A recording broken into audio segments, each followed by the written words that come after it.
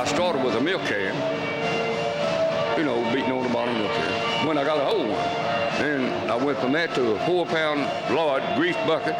Then I went to a 10-quart water bucket. And then I went to a wash tub. And everything got a hole one sounding better. Well, I live in Madison, Boone County, West Virginia. Woo! Live in Madison, Boone County, West Virginia.